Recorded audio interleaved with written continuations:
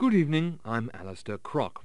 Welcome to the third in our series of extremely minor operas by measurably obscure Italian composers. Tonight we present La Storia Imbecille by Giovanni Battista di Pozzo. In Act One, the Duke, who has usurped his now peasant brother's throne and seduced his half-sister Caterina, contrives against his stepfather, the Archbishop, unrelenting in his pursuit of the Duke's present wife Lucia, who for her part has eyes only for her brother-in-law's valet, Felatio, unknown to all the actual husband of his daughter's best friend Cretina, presently lamenting her unrequited love for Caterina's uncle Testosterone, recently escaped from imprisonment and forced to remain in disguise as Lucia's mother, causing Cretina to reveal it to Astolfo that she is in fact her own niece. In scene two... Psst, psst, what? Well, why wasn't I... I am sorry, I've just been informed that tonight's presentation will in fact be L'Histoire du Soldat, with music by Stravinsky, performed by the KPFA Radio Symphony with a grotesque travesty of the original script, for which something called Ruby's Drive-In Radio Theatre is apparently responsible. In any event, I'm still Alistair Crock. Our story opens in 2018, the 43rd year of the United States Rapid Deployment Strike in Central America. Young Dexter Fitzkibble is back from his tour of duty patrolling the slightly radioactive shores of Lake Duarte, formerly known as El Salvador. For reasons he has difficulty explaining, Dexter has decided not to re-enlist, despite the inducements of a promised promotion to defoliator first class and a free leather-look designer body bag. Together with the remnants of his unit, he musters at Fort Reagan for the traditional farewell to his comrades in khaki. It's here that we meet for the first and last time the appalling General Frederick C. Crude-Gobbler.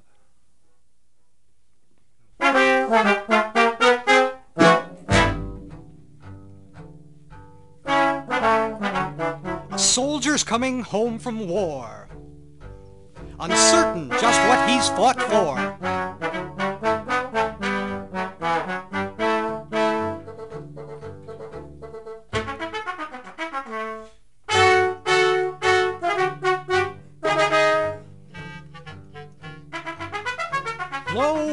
Peasants into bits, has thawed his army's frozen wits.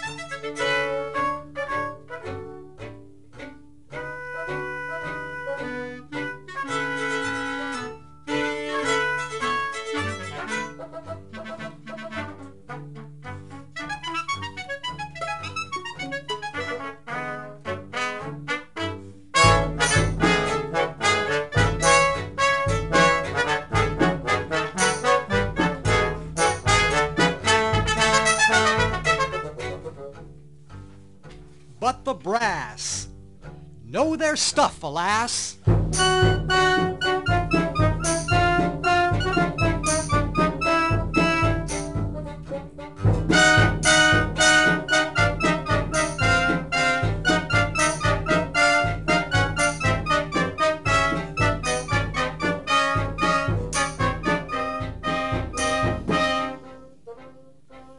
And at the passing out parade, all his thoughts are soon allayed.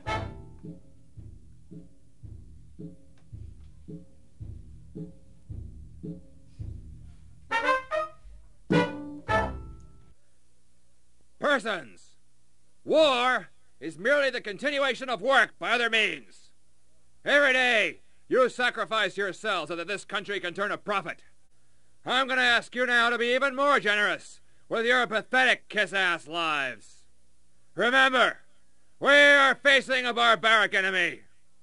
Over there, if you don't work, you starve. Over there, you have to wait in long lines to get the goods you need. Over there, you are constantly being screwed around by vast, inhuman bureaucracies. Over there, if you go on strike, they brand you as enemies of the people. Sounds like over here. Silence! I hear some of you are bitching about regimentation and the militarization of everyday life. Well, regimentation and militarization have a purpose. For America to win this war, you must learn to stop thinking. Your minds must be empty, alert, ready to receive the next order.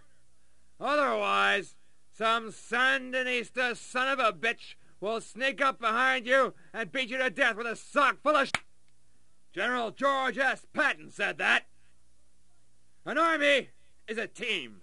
It lives, fights, and fries as a team. In this team, every person has a job to do. Just like the team at the office, the team at the factory, the team at school.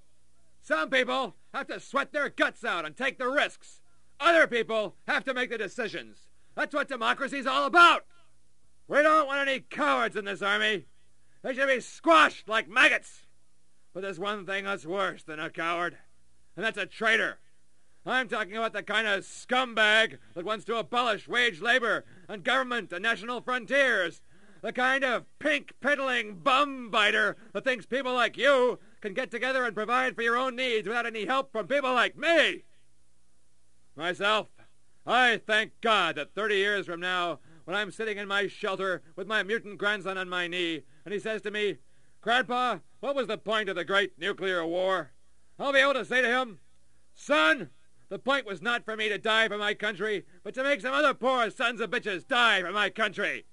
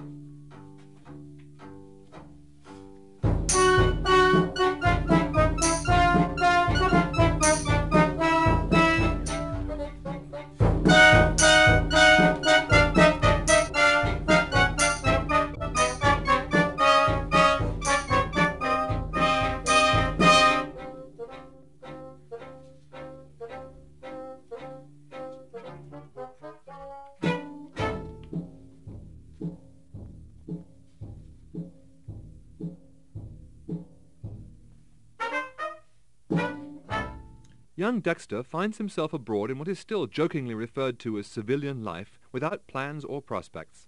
For some weeks, with his electronic credit chip still charged with back pay, he wanders in an amiable daze through the colorful, rubble-strewn landscape of early 21st century America. But his few hundred megadollars are soon spent, and he finds himself faced with the necessity of seeking work. Since unemployment is running at 65% and the usual minimum requirement for all but the most menial jobs is a doctorate in computer science, Dexter is somewhat at a loss. One evening, as he crouches glumly in his rent-a-cube, an accidental movement of his tongue flicks on his old-fashioned Microman AM-FM tooth implant radio. Hmm, what's this stuck to my back tooth? Tastes like a radio. KHEL, San Francisco. Are you a veteran? Have you returned stateside with oodles of stumps-on experience bayoneting pinko Latin American peasant women and calling in airstrikes on Adomi grammar schools crawling with eight-year-old revolutionary fanatics trained in Cuba? Have you been trained in the rigorous science of getting high in helicopters and dropping air-to-surface incendiaries on Marxist bean farmers to make their small, dirty country safe for McDonald's and Coca-Cola, but don't know how to put those high-level skills to use? Now you can. At Insecurity Systems, our business is keeping people safe from their own world. A world in which you can't even walk in your own kitchen at night without being raped and mugged by your own relatives. As a vet with frontline combat training, you already know what modern living is all about. You can make our clients think they're safe inside our concrete and barbed wire bunker condominiums while keeping their money safe in your pocket. Call 000-0000. That number again, 000 Gee, it sounds like he's talking to me personally. Inspired by the extraordinary felicity of this seemingly personal invitation, Dexter dials the number and is granted an interview.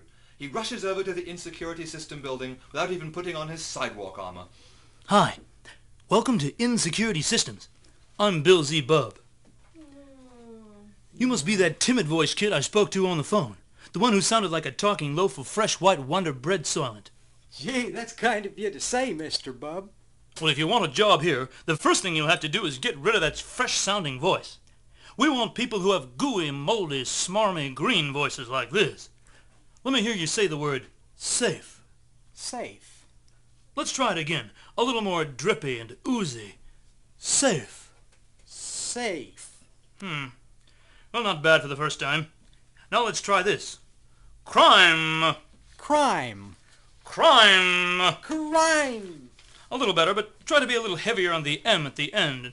And try to sound a little more morally outraged, as if you're thinking about politicians on cocaine having sex with your own children. Crime!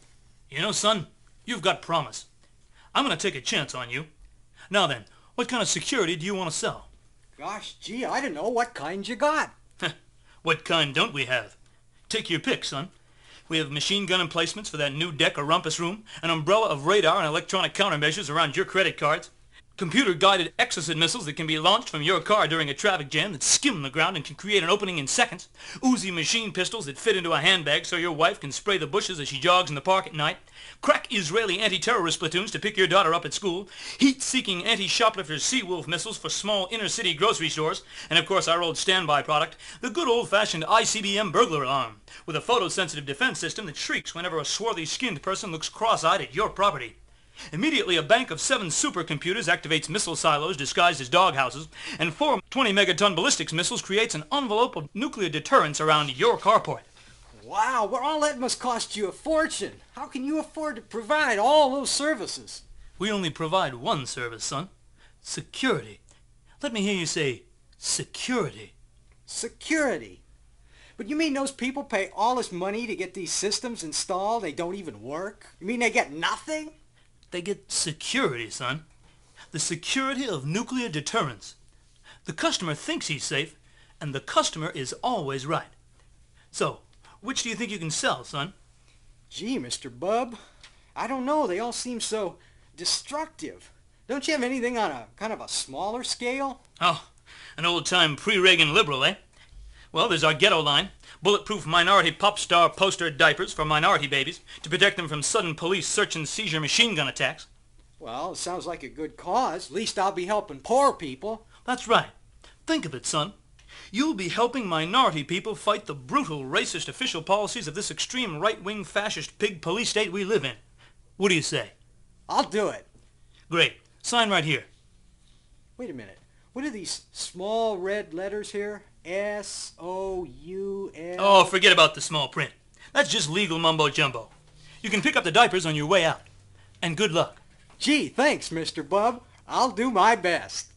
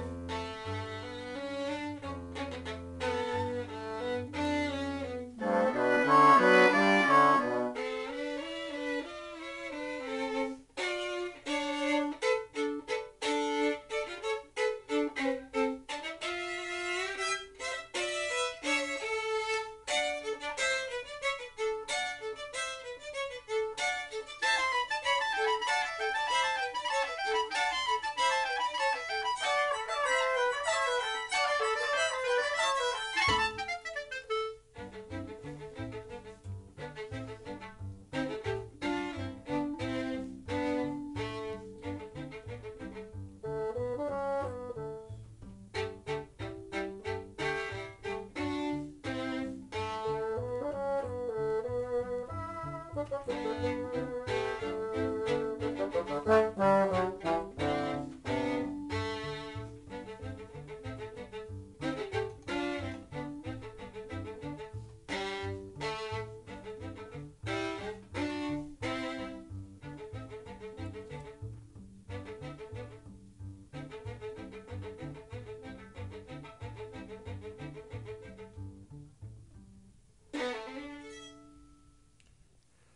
Dexter can hardly believe his good luck. Not only is he earning substantial sums, he is able through his work to help the underprivileged victims of police brutality. But once again the devil is lurking in Dexter's path like a sidewalk dog deposit hidden beneath a candy wrapper. As he relaxes in his security lounger one night, 1400, 1500, 1600, 1700 megabucks for a single day's work. And my commission of 20%, hey, that's a lot of money. And to think I'm doing my part to help poor people survive in a brutal, uncaring world, just like Mr. Bub said. But boy am I beat. Let's see what's on the tube. The City District Attorney's Office today announced the opening of an investigation into the alleged slaying of 26 minority children by overzealous police in a crackdown on a consortium of what they described as ghetto-hardened career criminal preschoolers led by a mafia-backed cadre of ex-eraser clappers, grades K through 4. The allegedly felonious toddlers replied to a police order to surrender with a hail of creamed corn, apparently putting their trust in what turned out to be totally dysfunctional bulletproof diapers. Rookie police were reportedly provoked into attacking by the pictures of rich minority pop stars ornamenting the diapers. Criminy! I'm responsible for all those poor children. I need a drink. The DA also is reportedly setting up a committee to consider beginning a study group to prepare a feasibility report on the possibility of opening a grand jury investigation into the alleged negligence of the diapers manufacturer Insecurity Systems, provided they can't come up with the cash to stifle the investigation. Holy smokes, they'll be coming after me soon. Jumpin' Jehoshaphat, what have I done? How can I ever live with myself? Oh, I need another drink. I really need another drink. Gee whizzer, out of whiskey! Dexter rushes out into the streets and hurls himself through the doors of the first open admission drinking establishment he sees. By 2 a.m. he has failed to drown his sorrows, but is well on the way to drowning his central nervous system. Just then, a malodorous object collapses next to him and begins emitting sounds. Hey, buddy. Mind if I join you? No, go ahead. You look a little down in the mouth. What are you drinking? Smells like Kikkoman sweet and sour mash Jim Beam blended soy whiskey. Hey, Joe, give a man another Jim Beam, straight up. Hey, thanks, buddy. So what's bothering you, my friend? Well, I'm a salesman. I, I just found out the so-called bulletproof diapers I've been selling to dozens of helpless little children didn't work. Now I'm responsible for 26 deaths. Oh, you must have been working for Insecurity Systems. I used to work for them. You did? Yeah. I used to sell mind layers to school teachers to keep the kids off the playground until recess. Then for a while I sold nerve gas to bus drivers to keep people from playing their Walkmans too loud. And then the CIA had us build a napalm marmalade coffee break truck to overthrow the fanatical commie perverts that run Topeka, Kansas. And I realized I couldn't live with myself anymore, so I started drinking. Yeah, me too. You know what you should do? Do what my boss, Mr. Bill Z. Bub, told me to do. Sell your car, sell your house, sell everything you got. That way you'll always have enough for a drink. You know, I think you're right. At this point, the orchestra plays a melancholy interlude in which the clarinet enunciates the Jim Beam theme.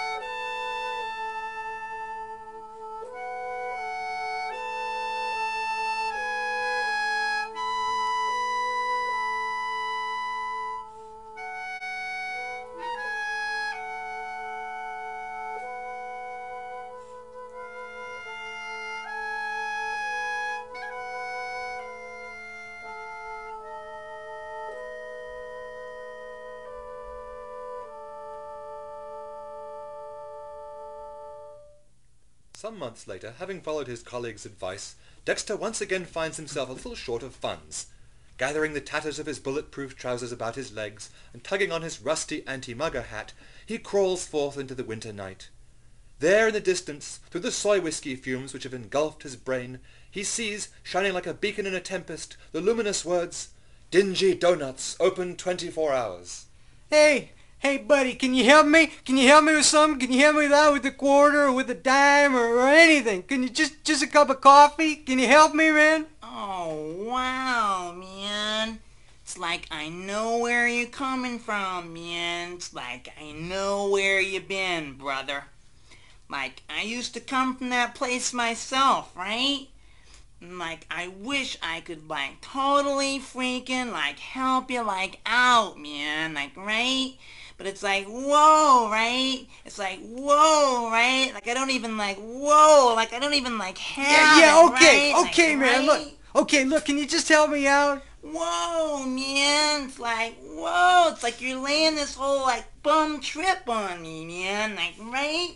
Like, okay, like, right? Like, I've been from your space, man. And, like, okay, like, I'm not gonna give you any, like, money, man. Because you're just gonna spend it on, like, alcohol, man. Which is, like, a totally down drug, man. It's, like, nowhere, right?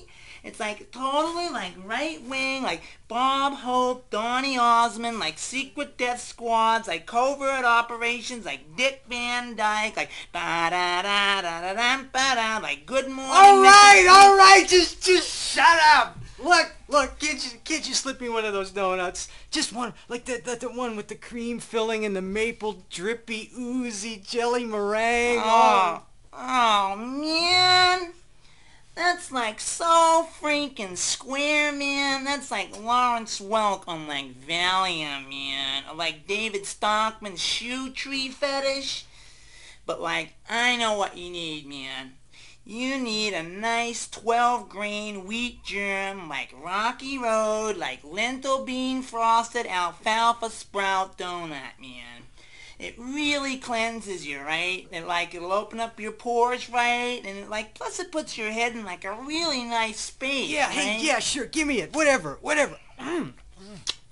Mmm. This is really good. God, I haven't eaten in about two days. Wow, this is great. It's mm. good for you too, man. It brings your like jogging skills up to your like third chakra, right? And it cleans up acne on your astral body, and like you can even deal with your parents on it, right? Gee, this donut is beginning to look really weird. The cream filling kind of reminds me of Elmer's glue. Ooh, I can feel its heart beating. And the alfalfa sprouts, they form a kind of pattern. I can see the map of Magellan's voyages. No, wait, it's the complete municipal bus routes of Athens, Georgia. It's the entire Andromeda Galaxy. Oh yeah, man. I forgot to tell you, like the glaze is like laced with like angel dust, man. You're about to be like psychically beamed up to the like astral plane, right? When you get back, we got lots more too, man. We got some Roman germ purple microdot meringue and some spirulina peyote frosted and some like blotta butterhorn.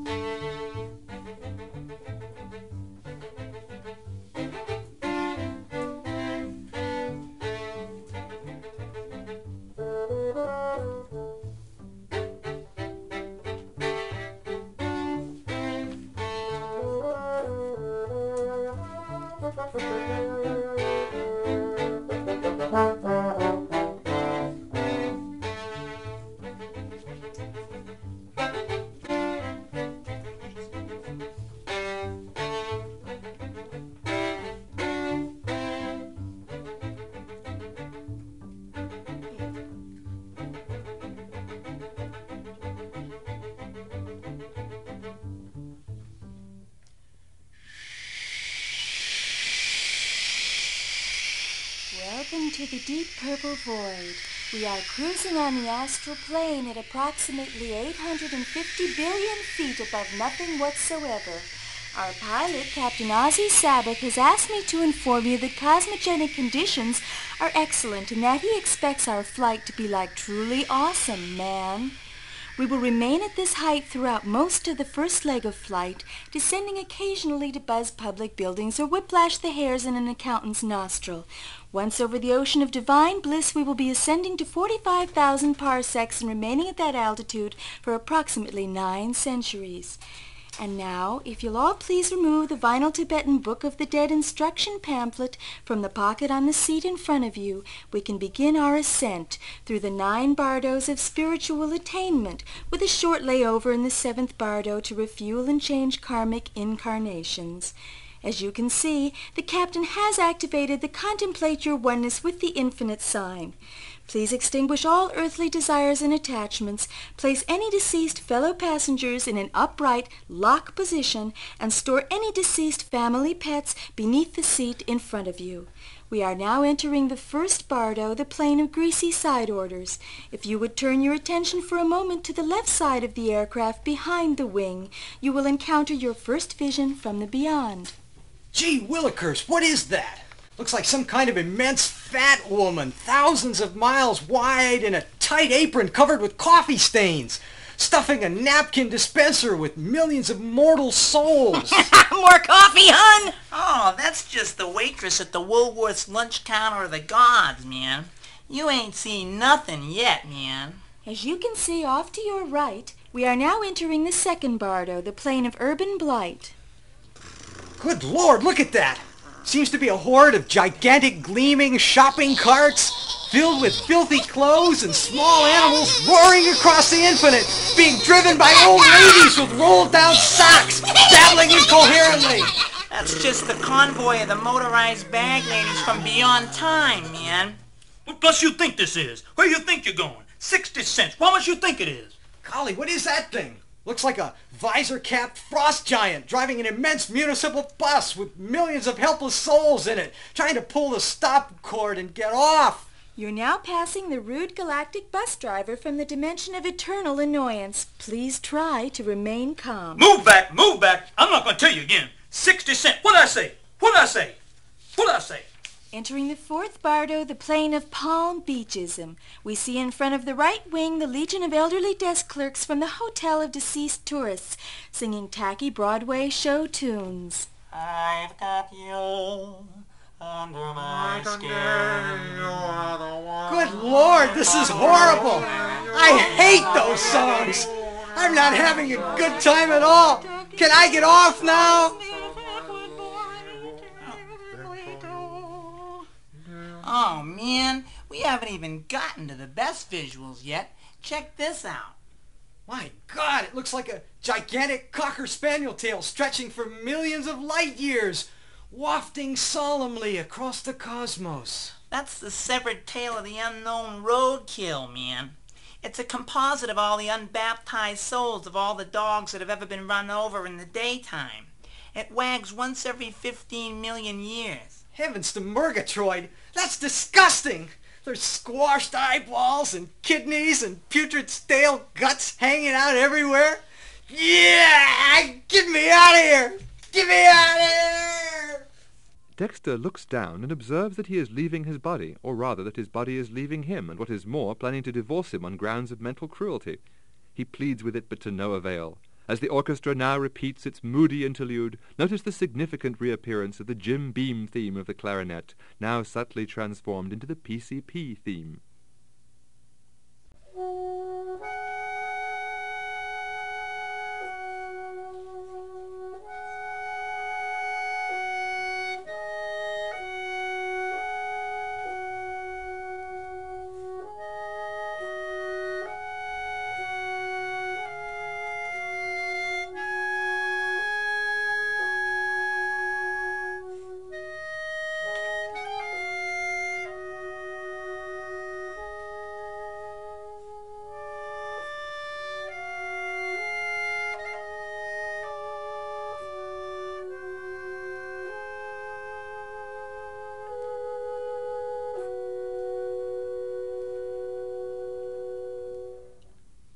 Dexter awakens next morning, somewhat the worse for toxic substances, but aware that his body must have consented to a trial separation after all.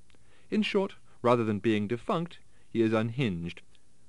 He looks around at the quaint antique psychedelic decor of the donut shop, disentangles himself from the vintage wax-dripped cable drum style table, and lurches forth into the streets, seeking spiritual clarification. Whew! That donut-induced guided tour of the astral plane was terrifying. And yet, somehow I feel so much more spiritual now. I feel so free, so unburdened of worldly strivings and attachments. I'm through with alcohol and drugs too. From now on, I'm going to devote myself to spiritual purity and the attainment of cosmic consciousness. Excuse me, brother. Could I speak with you for a moment? Gosh, Rudy, sure. What do you know about your soul, brother? What do you know about sin? What do you know about muffler installation and vinyl upholstery and brake alignment? I need some work on my Lincoln. Gee willikers, not much, I guess. Well, you know, I used to be just like you, brother. Dumb, ugly, creepy. Why, I bet you can't even walk down the street without being set upon by angry mobs. I'll bet your own three-year-old son cuts up your meat. I'll bet when you got married they had to fly in your specially bred mate from Marine World. But you know, brother, I used to be just like that. I had lost my faith. But then I got fooled again. I got fooled again. And you know, brother, I think you're ready to get fooled again. Jiminy Cricket, where do I sign? I am working for 16-year-old perfect sleazeball, Supreme Reverend Guru El Long Moon Baba Very Rishi Gui Bunghole Gobs of Money.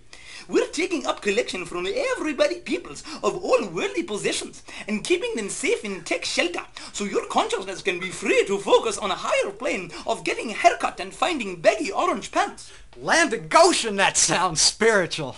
Sir, before you sign, wouldn't you rather be a spiritual test tube washer in the science of religionology? Wouldn't you rather be a salvaged being with your dynamics aligned and your ethics in, debugging all the beings who come across your lines? Look at me, a revitalized FSM, on lines, who's winning across all his dynamics. I can put you on purpose. I can be your terminal. Don't you want to be debugged? Don't you want to be audited and move across the bridge and arrive at the postulate? Jeepers, creepers, where do I sign? Would you like to buy this flower and come up to Brainwash Creek Ranch and eat sticky rice and all the flowers we didn't sell? And find out about God and truth and absolute being and how to wash dishes for 1,200 people and how not to be attached to material possessions and how to get them attached by the government for not paying your taxes? Heavens to Jeepers, creepers, yes. Excuse me, sir. Have you ever thought about anything? Are you thinking a thought right now? Sakes alive, I guess so. Then you're already a minister praying at the universal fake church. We believe that faith is just believing anything about just about anything. And a church service is just when two or more people get together to do whatever. And a church is just any tax sanctuary that suffers your money to come unto it and sanctifies it from the IRS. Now, does that sound too mystical for you? Land of Goshen, where do I sign? Hi, I'm taking up a collection for the Jews for Jah Rastafari, and I'm wondering if you can help. What, you can't spare a dollar to buy zigzag mezuzahs for the ghost of Haile Selassie? Criminy. Hi, I'm recruiting for the Gay Moonies for Krishna Computer Dating Service, and I was wondering if... Hi, I'm soliciting donations for Save the Lesbian Mormon Whales for Khomeini Defense Fund. I'm wondering if... Howdy. I'm from the Puerile Majority, and we'd like to enlist your support. Hello, I'm a member of the Irish Republican Muslims for a Flat Earth Temple, and we're holding a dance-agetic policeman's ball, you see. Yes! Yes! Where do I sign? As Dexter goes tramping happily off in his spanking new orange and purple uniform, with his crucifix mandala jingling and his freshly shaved and lemon-waxed head gleaming in the carcinogenic sunshine, fully converted to as many vapidly leering cults as he can get his grubby little third eye on, the Soldiers' March makes a brief reappearance as the March of the Cult Zombies, thereby taking on, of course, a totally new significance.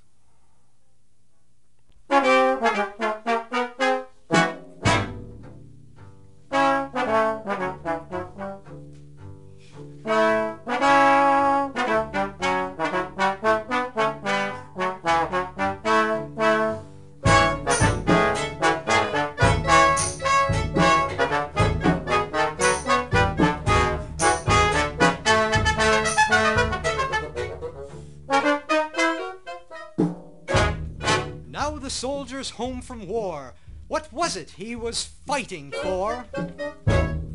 In a land so far away. Why, for freedom, that's to say. Standard Oils and IBMs, Chase Manhattans and GMs.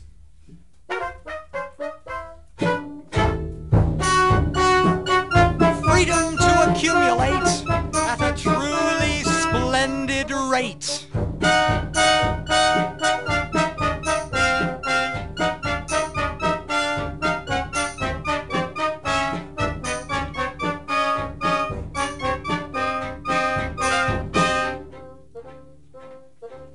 Democratically we pick the shoes we're going to lick!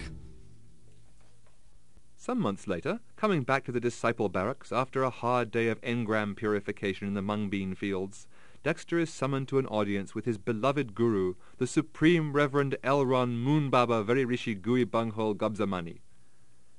Alas, he soon discovers that the Reverend wants more from him than merely his toil, his furniture, and exclusive rights to decide the colours of his wardrobe. The Reverend, in fact, desires to penetrate his very soul with hot spurts of divine essence. Dexter flees the ashram conventominium and finds himself once again alone and in need of existential guidance. Or, to put it more crudely, orders. Well, that's okay for you to say. The fact is, I was getting tired of being pushed around by all those Mahatmas. Excuse me. Did I hear you say you were tired of being pushed around? Well, yeah, I did. What's it to you? My name is Mo. Mo Locke. Oh. And this is my associate, Ms. Fisto. Hmm. Notice the groans of damned souls tortured by the bad puns built into each new satanic sobriquet. You were saying you were tired of being pushed around. Are you tired enough of it to push back? Would you like to start treating most people in the world like the slime balls they are? Are you ready to skate on scum? Gosh, Willies, I sure am. No, you're not. You couldn't kick a one-armed Betsy Vetsy doll down a steep flight of stairs. You deserve to be abused. You are one of nature's dish rags. Well, uh... Dexter, De- Dexter Fitzgibbon. Well, Dex, she's got a point there. You are kind of a pustule, aren't you? Hey, now listen, buddy, here, I don't have to stand there. Oh, stop your pathetic sputtering. Come on, we are wasting our time with this wretched creature. He will never become an ESS graduate. What? What's it, ESS graduates? What do you, what do I'm you glad you asked me that, Dexter. ESS graduates are people who've mastered envy science. People who've reached their full appearance manipulation potential. People who know that for them to get on top, someone else has to get on their elbows and knees on the bottom. People like me. Just take a good look at me. What do you say? Well, I see. I'll tell you what you see. You see a deep, perfect tan, immaculately white teeth, gold-plated combination two-way wrist TV, microcomputer and personal defense system, hand-tailored bulletproof Harris tweed suit, credit cards hooked directly into numbered accounts in an air-conditioned Zurich bomb shelter, and you envy me, don't you? Well, I suppose. Of course you do. And what's more, you suspect I have the entry codes to Ms. Fisto's intimacy zones. Doesn't that sting even more? You would like to access me sexually, but you're not man enough to do anything about it. Besides, you fail to meet my minimum standards. You wear the poor man's cologne. Honest, disgusting eau de toil. The reek of submission is all around you. But you want her all the same, don't you? Well, she sure smells good. Still, I... That's right. Unfortunately for you, though, your nostrils don't even reach my ankles. But you could have a Dex. You could have women twice as envy-inspiring. You could stride through the world like a god, Dexter, shuffling everyone in your path. That sounds keen. What do I have to do? First, you have to admit you're a nebbish. You are used bubblegum the world has scraped off its shoe. But envy science seminars can clear your personal dominance channel, Dex. No. You're too feeble to stand up to the seminars. You'll snap like a stale baguette. Come on, Zemo. Let's go and revel in our superiority. No, no, wait a minute. Where do, where do I sign? Later, in a glitzy restroom at the local Hyatt Fortress Inn, Let me tell you a secret. All the billions of abused, exploited, oppressed wimps in the world are that way because they like it. So don't feel sorry for them. They have chosen a life of groveling misery for themselves, just like you. And the rest of us have chosen to kick you around. It's one or the other. You see, trainees, it all comes down to zero. Zero is the key concept of envy science. You think we're going to teach you how to look after number one, right? Wrong. We're way beyond number one. We're going to teach you how to look after number zero. Divide a number by zero and what do you get? That's right. You can't do it. Because life is a zero-sum game, my friend. What you gain on the swing, someone else loses on the roundabouts. And zero is all you are, trainees. Worthless, empty, a great big nothing. The hole in a non-existent donut. You still looking after number 452. Hey, speaking of donuts, Mo, you look familiar. That's right, Dex. Shut up. You see, that zero you are is full of potential. Because nothing is the purest potential there is. Your nothing is waiting to be filled with envy, other people's envy. You'll achieve personal dominance by appearing to be what everyone else thinks they want to be. And what you merely think you want to be. You only came here because you were hot to be insulted by an unattainable Teutonic sex goddess. You do not want to be members of the super elite. But I tell her she's wrong, trainees. No! no! Very well. You, Fitzgibbon, stand up. You are so full of the toxins of outworn morality that your eyeballs are brown. The illusions of compassion and brotherhood have filled your brains with mud. We will now try water therapy. Trainees, back into your stalls. Receive the pleasures of the flush.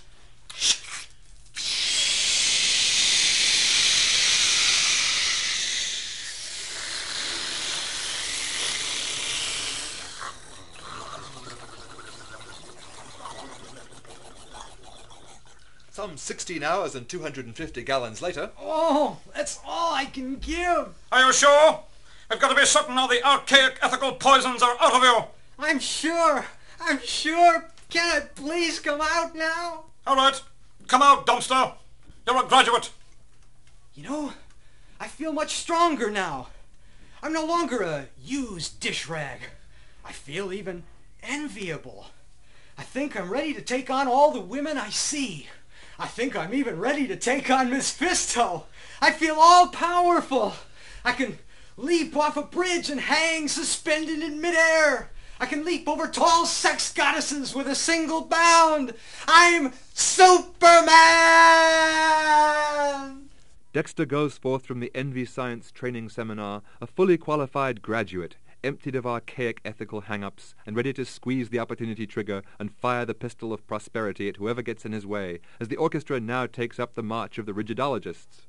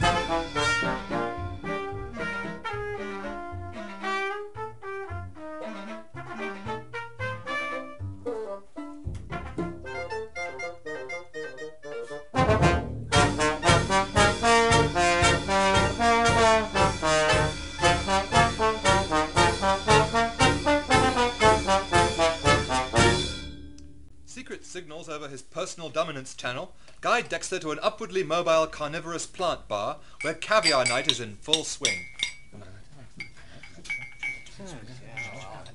Hi there. Tried the mock beluga yet? It's made out of plankton, but it's really quite good. Mmm, what's that you're wearing? What'll you pay to find out? Oh, you've just been through envy science seminars, right? Uh, yeah, how'd you know? Hey, I wouldn't mind getting some hands-on experience with your confidential material. you're sweet. But you know, the problem with rigidology is it's all talk and no action. I went through ESS years ago. Still, it does help you get on the right track. Anyway, I'm Lucy. Lucy Fur. Oh. So tell me, what do you do for dividends? Cute stuff. Me? Oh, well, well, I'm looking for a, a low overhead, high yield, uh, independently owned investment opportunity. Something to grow with. I was thinking maybe a mobile krill burger concession chain outside torture parlors. Why not think property, hun? Has a nice sound to it, huh? Property? Do you know how easily you can lay hands on distressed property through government repo auctions? Uh, uh, no, that is, well, uh, well, of course, yeah, I, uh, First, you buy yourself a patch of ghetto from some over-mortgaged small-time slumlord. Take on the mortgages, pay pennies on the dollar to your source for the down payment, then get a federal urban confinement department rehabilitation loan. See, you tell the feds it's going to be a wrinkle farm. a what? A convalescent hospital. And after they paid you to fix up the joint, which you do on your own, but itemize it like 10 union guys were doing it for you, you get them to pay you the rent through the Social Security checks the old geezers have to cough up every month to stay there. Neato, huh? Golly jeepers, I didn't know you could make money from dying people. You don't know the half of it, sweetie. Listen, one of my old folks' homes is just a few minutes away. Care to hop in my Nissan Roadkiller sports coupe and buzz over for a look? Holy jeepers, I'd love to. Shortly thereafter, in a charmingly decrepit neighborhood near the abandoned San Demento nuclear reactor, This whole area has fantastic possibilities. Up to now, it's been zoned for misdemeanors, but they're changing the classification to K4. That means grievous bodily harm and up. And that means bunker-style apartment complexes with acid moats and underground garages for the armored personnel carriers. Totally enclosed high-rise weapon malls. We could be getting in on some really hot options. But let me show you around. Cream and leapers, Juicy. I'm, I'm Lucy. Uh, hey, I really appreciate you offering me the partnership. I mean, uh, uh, I mean, I know I deserve it, and there's really no other choice you could have made. Say, this is a fantastic place. You're sweet. You know, we've got this reptile palace almost up to code now. Come over here. Let me show you our pride and joy, the Gerontomat. What's a gerontomat? It's a facility that provides automated life support services to long-term comatose patients. A vegetable crisper. Just look at at 'em all lying there. Peaceful, isn't it? Why is that little man sitting over there in the corner with that big bag of coins? Oh, that's Mr. Globowitz. He's tending the coin-operated iron lung his wife is hooked into. Listen. Please deposit $25 for the next five minutes. See, with automated life support systems, we cut costly medical personnel down to the bone, and the machines are worth their weight in plutonium in tax depreciation alone. Mrs. Globowitz is uh, one of our flatlines. Flatlines? Yes. Look, there on the EEG brainwave readout. A flat line, see? Uh, but why are they still keeping her alive? Because our highly trained counselors guilt-tripped their relatives into paying for it. Mrs. G is 123 years old this November, and she's been a total loss from the neck up for the last 47. It's almost miraculous what medical technology can do nowadays, isn't it? Oh, golly, Willikers, here comes someone down the hall in an awful hurry. Oh, Miss Fur, thank God you're here. I'm out of $25 coins for the machine, and the change dispenser here won't take my mega buck bill 'cause it's too wrinkled.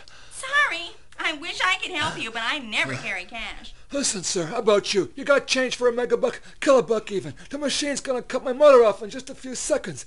Please, can't you help me out? let's see. I don't. I don't think so. Let me see if I. No, no. Hey, ah, sorry. Miss, please, Miss Fur, can't you do something? I come in here with two shopping bags full of twenty-five dollar bits just yesterday, and now they're all gone. See, look, damn Bill won't go in the machine. Come on, hurry up. Go in there. Look, the red light's flashing. Please, Please, please. deposit twenty-five dollars ah, Oh dear.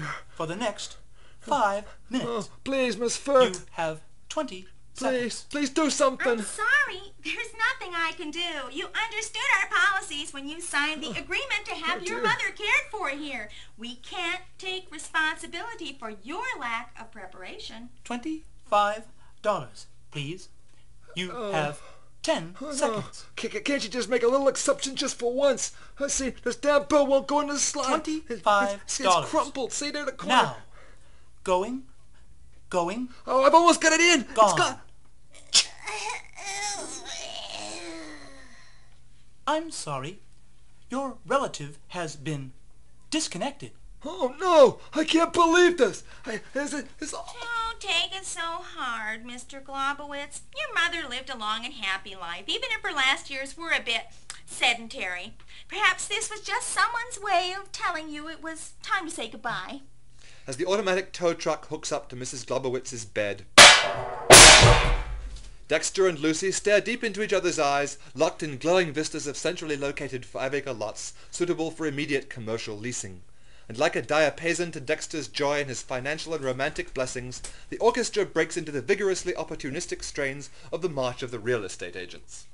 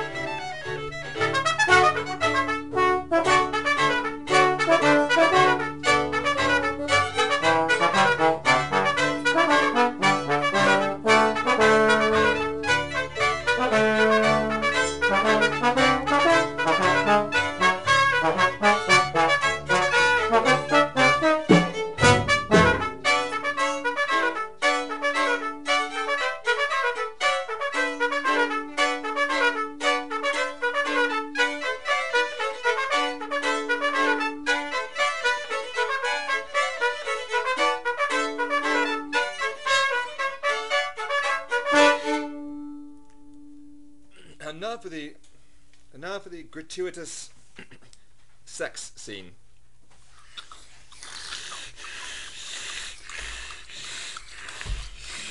Oh, Dex. What do you say we merge our holdings?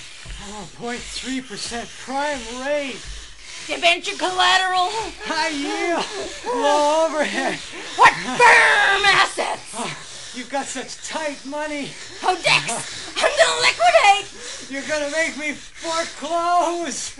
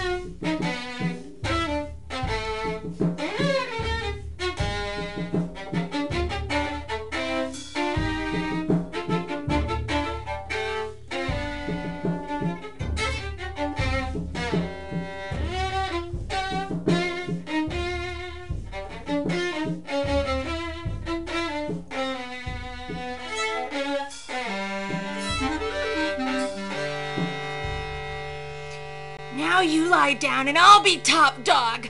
I'm the tax assessor and you're the real estate mogul with lots of criminal ideas.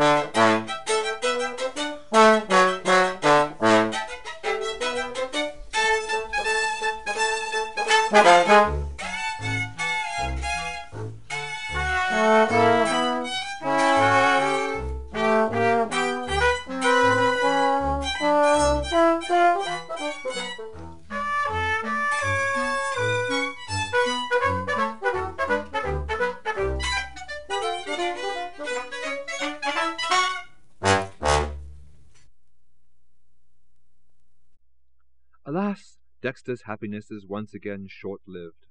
President Tatum O'Neal, former child star turned senile Republican businesswoman, abolishes Social Security in a fit of pique.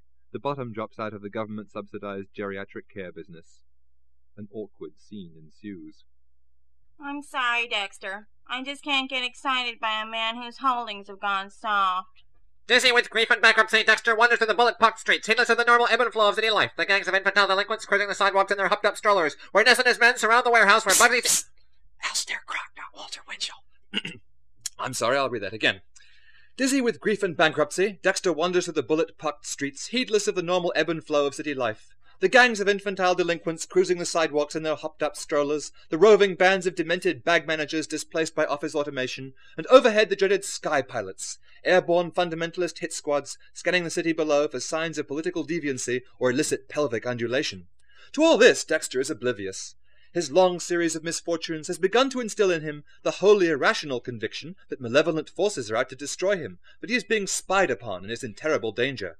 And as so often before, the father of lies is on hand to exploit his confusion. Guess you can't trust anybody. It's every man for himself, and don't sit with your back to the open door. Hey, hey, hey, hey, buddy, buddy, come here. Can I let you in on a secret, huh? What's that? You know who runs everything? The barber shops. That's right, the barber shops. They put little babies in jars. Sure, you didn't know? They shot Bobby Kennedy. They made him into crunchy peanut butter. Shh, shut up, here they come. Who? Shh, the dry cleaners. They put my uncle in a jar and then they poured him into the fruit punch at a fundraiser for Jane Fonda's modernization work.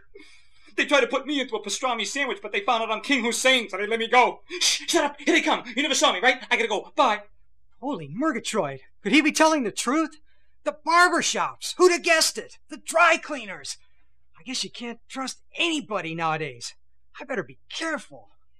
You know, my friend, the hour of reckoning is upon us. The hour when the great locust and anchovy pizza comes down from the sky. But you didn't want anchovies! No! Hold the anchovies, you said. Heavy on the mozzarella, you said.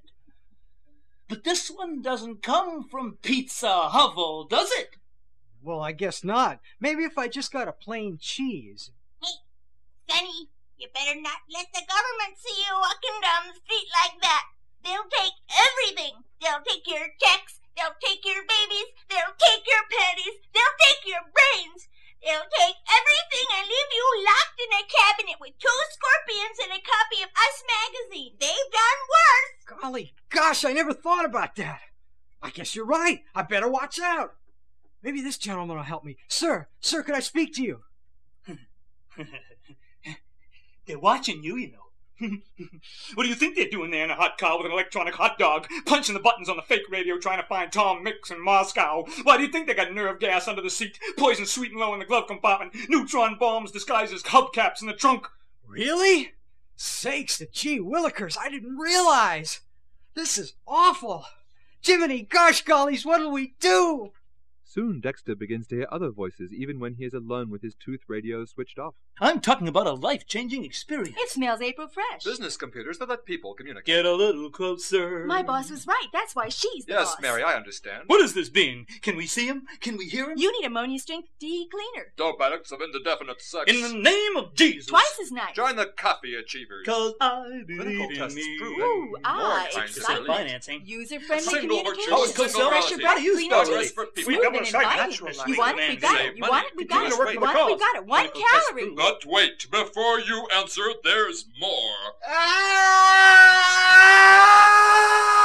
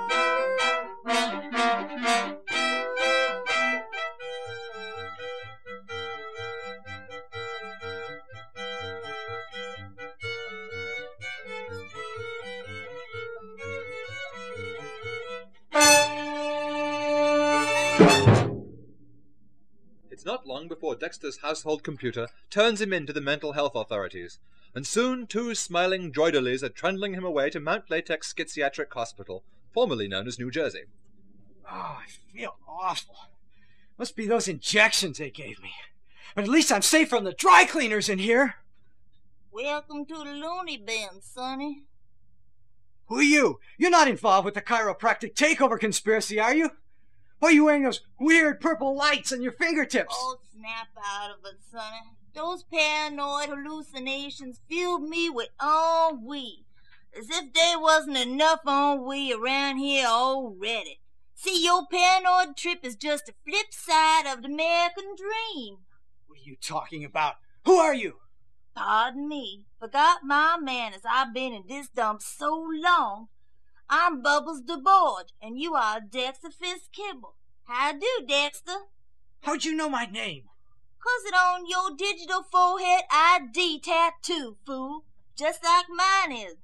Anyhow, like I say, from the moment you old enough to listen, they be telling you that all your problems is personal problems. Like you in here 'cause you just can't cut the mustard, right, Sonny? Right. Wrong. See, the notion that this is all you leads to exaggerated idea of your own importance. That way, when you down there with your head stuck deep in the garbage can of failure and despair, you got two choices. Either rest of you belongs in there with the ten-day-old macaroni salad and the second-hand Kleenex, or else you is really the long-lost reincarnation of Elvis Presley. And the super secret alliance of android Freemasons and Zionist whales is after your ass. And that's why you is such a mess. 'Cause one way or the other, it all down to you. That's right. That's just what I always thought. No, you didn't. When you was a kid, you knew a lot of the stuff grown-ups was handing you was jive. You wasn't born stupid. Hardly anybody is. It took a lot of time and effort to make you as dumb as you is now. Of course, the conspiracy with their satanic microwave rock and roll mind control beams. Dexter, I told you once, and I ain't gonna tell you again. There ain't no conspiracy. At least not how you means it. They's a system. So who runs the system? Is it the Rosicrucian winos for a better Hitler, the Black Pope, or the KGB? Please tell me. That all depend on where you are. But it don't really matter. They all the same, honey. Old white fellas with eyes like burn holes in the upholstery. But they don't own it. It own them. They just the super duper slaves. Then we go on down the ladder to the regular super slaves, the upper middle slaves, the middle middle, lower middle, lower lower, and finally the used up and throwed away slaves like you and me. I, I wasn't a slave. I was an independent businessman. Dexter, I ain't got the energy to explain to you, so I'll just ask you. What decide at any given time will you gon' make a profit your big old hairy chest independent business? Why, the free market, of course. The invisible hand of the market where everyone's free to buy and sell for the best price they can get, riding the great wondrous whirling carousel of opportunity, round and round and round. That's round. right, Dexter. Shut up. That's who your boss was, the market. That's what tell the whole system what to do. Let's put it this way. The big old invisible hand of the market just keep on slapping you upside the head. And that's why you is such a dingbat. Holy creeping jiminies! I can feel it now. A huge hand touching me all over, poking me. I can't stand it. Stuff a sock in it, honey. Or they gonna give you so much catatonia cocktail that a formica coffee table gonna look right lively next to you. Y'all wanna know what they tell the market what to do? Yeah, Okay, tell me. Well, I ain't going to. 'Cause it all got to do with the circulation of capital and the productivity of social labor and other stuff what gone right past you, honey. But I'll tell you what make it all go. That is, I will if you sit up straight and stop trying to stick your elbow up your nose and your toe in your ear. Hmm. There, I knew you could. What make it all go is you, Doiky. You and all the other slaves on the slavery go round. It go 'cause you go to work and go to the store and go to the movie and go home and go to sleep so you're always ready to go again tomorrow. And just in case any of you gets out of line, the super slaves got places like this one ready and waiting. I know, honey. I was in the general strike and all-time street boogie in 1988. Golly sakes to gosh, Rudy. So what happened to that? Well, they told each half of us that the other half give up. Then after that, they passed the Appetite Protection Act and set up the U.S. Department of Isolation and Office of Triviality Maintenance. And then they done put me in here. But just the same, if all of you stop, you don't go. And then we all could do something more rewarding. Fitzkibble Dexter, Fitzkibble Dexter, Dexter Fitzkibble, come to a white courtesy patient restraint unit, please. Please get into an ambulatory space around getting into a feedback confessional with your reprogramming pastor. Well, sayonara, Dexter. Don't let on you know nothing, or they gonna replace your cerebral cortex with designer naugahyde.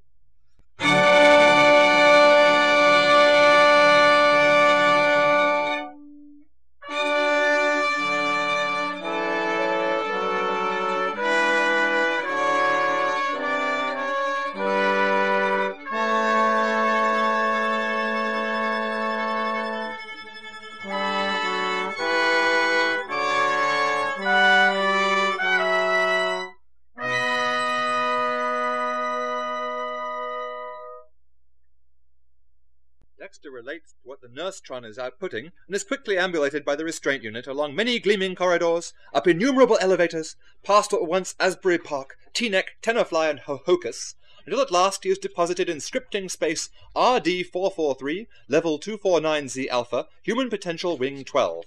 As the automatic door whips open before him, he glimpses a brass plate inscribed with the words Dr. Inferno. Hello, Dex. Or hi, or howdy, or what's happened. Whatever greeting energy you feel safe in. What? Thanks for admitting your need for more information. It shows you can be vulnerable. Can you put out any more feeling stuff about your expectations around our interaction? Well, I don't know what to expect. We just started talking. Very perceptive comment on our process. I hope I'm not overstroking. Overstroking? Thanks for feeding back. I feel like getting into some content. Can you output any permitting stuff around facilitating a dialogue about being clear about some of the issues coming up for you around dialoguing? We, uh, we're, we're, we're having a dialogue, aren't we? Dexter, I'm with you in that place where you want to continue to make process comments. But I think at least some of that is coming out of your fear that it's not safe here to disclose heavy feeling issues because you're afraid I won't validate your sexual fantasies about certain super strong yet super vulnerable human impotential schiziatric authority figures. No, no, I'm sorry. This isn't making any sense at all. Can we try being a little less linear and judgmental? Dexter, I'm hearing what's coming up for you around your fears that I may violate the boundaries you need to protect that space where you deal with issues around the negative energy that depowers your own permission for yourself to ask for supportive modeling from me to validate your fantasies about your stuff getting stroked. But can you share some quality input with me around empowering that dynamic to reprogram your issues about privatizing the process of getting behind your denial that you're stroking your script? I am not stroking my script. See what I mean? Stroking my script? I don't even like my script. I get all these great one-liners like gosh Rudy and golly gee willikers. Makes me sound stupid.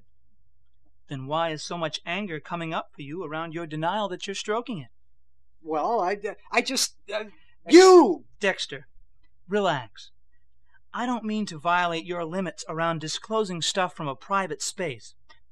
Let's get into more of a healing place and just share some information around the actuality of our interaction. How did you first find yourself resourcing us? Well, I was dragged here by the brain police, kicking and screaming about these horrible monsters I thought were out to kill me and suck out my skull. Can you get in touch with any other stuff around these beings? Yes, they're hideous living columns of smoke with long, slimy tentacles covered with gooey suckers and broken glass that came into my house and chomped down on me and tried to vacuum out my brain. Have you tried sharing your anger with them? Sharing my anger? I have to smash them and kick them and claw them to stay alive. What about coming from more of a caring place? Is it that hard to get into some of the feedback they're sharing with you about their needs in your interaction? Look, Doc, they're not real, are they? I mean, I know I'm crazy. I know they're just hallucinations and I want to be sane again. But they're not really there, are they? Dexter, I don't want to invalidate your experience, especially when you're so obviously deeply invested in it. That would be coming from a really judgmental space, deprogramming the script you're modeling for yourself. You mean, you mean those terrible, hideous monsters that follow me around are, are real? You're responsible for creating your own reality.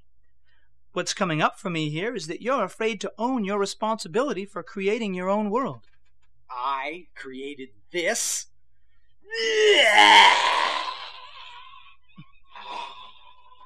Thanks for putting out what's coming up for you around that information. Is anything else coming up for you around it? no, but it's coming up for you around your shoes. Thanks for sharing. I think I know where your feedback is coming from. I feel like I'm more in touch with some of the content you've been outputting. And I also feel we should move into more of an open, validating space. Yeah, but I have just one question. If I'm responsible for creating this nauseating world, and everyone else is responsible for it too, and my hallucinations and demons are real, and everyone else's hallucinations and demons are real, doesn't that mean that everybody's crazy? Dexter, there's an oddness in your head, so I'm substituting mine instead. Exchange your agonizing rap for scientific sounding crap. Voices that you used to think were gods, psychiatry has proven to be outworn frauds. I'll tell you when you're well and when you're not, and when you've paid, it's your own normalcy you've bought in this terminal spirit rot. Psychiatry is all you've got. Following his release from Mount Latex, Dexter rapidly completes his recovery and resumes a normal life. He becomes an apprentice surveillance systems technician and has soon earned enough to be able to move out of his cardboard box and into a somewhat less spacious but well armored apartment cylinder equipped with a preacher-matic and uh, a 24 hour porno vision.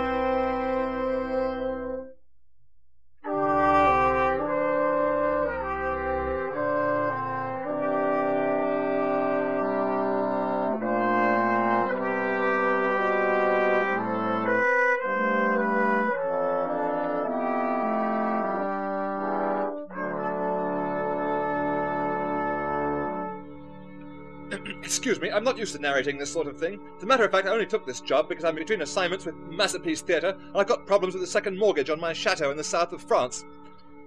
Well, still, better get on with it.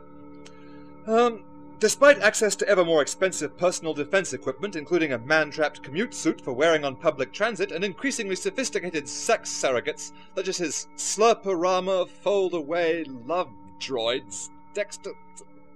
I'm sorry, this is appalling. I simply cannot go on.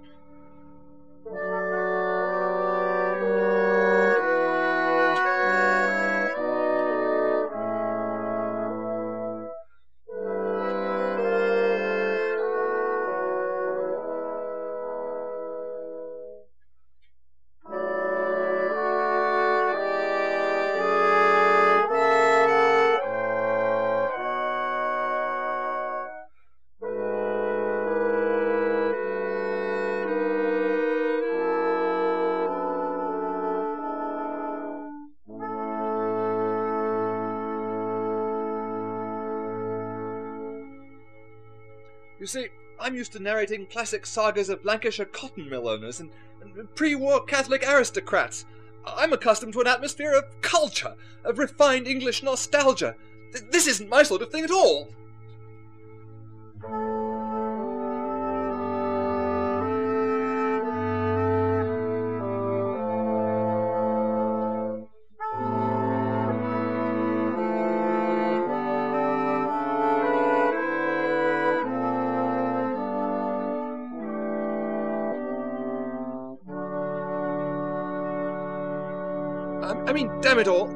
Stand for something here. My name is synonymous with taste and breeding in this country. I, I represent the kind of life the average middle aged American executive or college professor would like to have lived. A world where people knew their place. I can't be associated with this kind of thing. I'm leaving.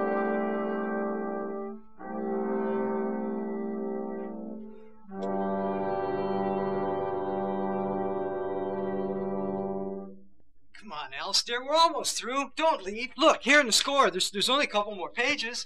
No, won't, shan't. No, no, no. Come on, Alistair. We'll give you a lollipop. Promise? I promise. No more of that ghastly sex stuff? No, no, it's all quite normal from here on out. Oh, very well. Dexter's life becomes increasingly ordinary and humdrum. So humdrum and ordinary, in fact, that he frequently falls asleep in a very normal way while watching Holovision. One such normal evening as he snoozes humdrumly.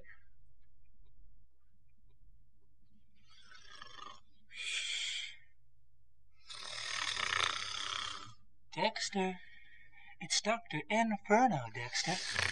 Here's your script, Dex. I want you to come from a permitting space around validating everyone's energy. The military, the corporations, the criminals, the paranoids, the profiteers. I want you to get into a vulnerable place for them. so you can share some positive stuff around empowering their script and really getting behind their needs. Hmm. I gotta permit the military space, validate the paranoids, put their script in a vulnerable place. Dexter, Dexter, I'm offering you a chance to invest in the greatest phlegm factory in history. A 400 million ton Geronimate Xanadu. We'll keep people alive hundreds of years beyond recognizability. Now, the first thing I want you to do is price some ICBM systems so we can start clearing out the state of Pennsylvania. Go to the store and buy some IBC IBMs and take 400 tents to Xanadu. Dexter, I want you to bend over and tie your nose to your big toe. I gotta bend over, tie my nose to my big toe. But do I use a shoelace or a piece of string? Dexter, this is your guru, Erron Moon Baba Gopsamani. I want you to lock yourself in a bait and tackle shop for 40 days and focus on all your spiritual energy on your third gallbladder until you feel the bile of God back up and spew out of your fifth chakra. I think there's a bait and tackle store on Third Street, but I don't know if they have gallbladders. Hey, you want to have lots of friends? Friends. Tell you what you do. Take off all your clothes and run out into the street yelling, Kiss me, I'm a horse! Kiss me, I'm a horse! But I can't run that fast. Couldn't I be a pony instead? Don't listen to them, Dexter. They just want to make a fool of you. Listen to me, Dexter. Listen to me. Yes? I want you to sell our new insecurity system. It's a transcontinental brainwave radar and electronic countermeasure umbrella that spans the entire Western Hemisphere. As soon as it senses anyone in the country thinking a thought that might be construed as remotely indicative of a prior familiarity with quasi-communistic materials, it activates half a million heat-seeking four-megaton bombs cleverly concealed in the stale grains of rice used inside salt dispensers on hot days at tacky American restaurants. What I want you to do, son, is to test the device by leaving your rice out for a while, installing the warheads, and then glancing quickly sideways at the back cover of Lenin's State and Revolution. No, no, no, don't make me do anything more. No, I, I don't want to sell anything. No, no, let me go. Don't let them give you none of that job, honey. You must have been working for Insecurity System. No, no, I don't work for them. They're insane. No, let me, let me go. Shut up, Dix. Now listen up. I want you to get some People magazines. I want you to rip out all the photos of the average man on the street. I want you to make a mountain out of them in your rumpus room. And I want you to get some skis and some goggles. And I want you to slalom on slime. I can't make me. No, I won't. I don't want to think. I want to think for myself and paint pictures and swim in real water. I don't want a pre-packaged lifestyle. You want it? We've got it. You want it? We've got it. Hurry while supplies last. I want to run naked through the magnolia blossoms without a single credit chip to my name. You tell 'em, child. I want a world where there's no psychobabble, no advertising, no poor slobs trying to crawl their way up. You rolling now? A world where people haven't forgotten what makes life really worth living. A world beyond power structures and money. Oh, Lordy, you done it now, child. Look out, it's coming down. Insecurity Systems. Look out for number one. If you don't sell your time, how can you buy your leisure? You are one of nature's outhouses, you slug. Oh, man, like, try it, right? No, I just... no, no, you can't make me stop. No, I Oh, oh, I must have been dreaming. Boy, am I glad that it was only a dream. All those weird people telling me what to do. Fitzgibbon Dexter, Fitzgibbon Dexter, please report to a right courtesy medication dispenser for your Placidil, Limpium, Numbutal, Stupazine, Blancol, Bovinil, Mortazine. Bad Dormal, dream, eh, Dex? Do you feel like coming from a sharing space about processing some of that negative input?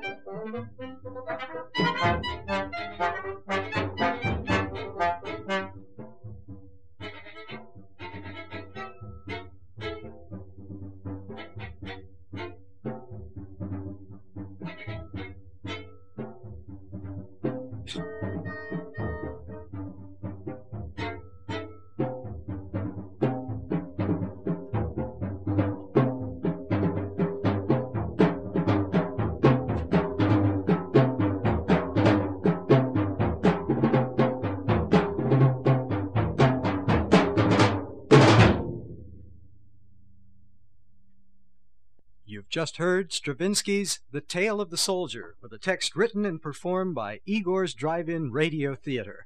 Kent Nagano conducted the KPFA Radio Symphony. The role of the announcer was played by Adam Cornford. The various devils, Beelzebub, the hippie devil, Moloch, Dr. N. The drunk, the rude bus driver, the fooled again Christian, the perfect sleazeball disciple, the religionologist, the universal fake church member, the Jew for Jah the gay Moonie, the talking iron lung, and three male paranoid schizophrenics were played by Michael Peppe. The newscaster, the flight attendant, the rigidologist, Ms. Fisto, the real estate agent, Lucy Fur, the female street wacko, and the black situationist bag lady, Bubbles DeBoard, were played by Melinda Gebbie. The soldier was played by yours truly, Terry Hawkins. Members of this morning's ensemble include violinist John Caston, double bass player Tim Spears, clarinets Diana Dorman, bassoon Carla Wilson, trumpet Neil Rosengarten, trombone Mark McConnell, and percussionist Ward Spangler. The engineer for this broadcast was Jim Bennett, with production assistance by Monet Holmquist. This concludes our series of live concerts by the KPFA Radio Symphony. If you've enjoyed hearing these broadcasts, please let us know.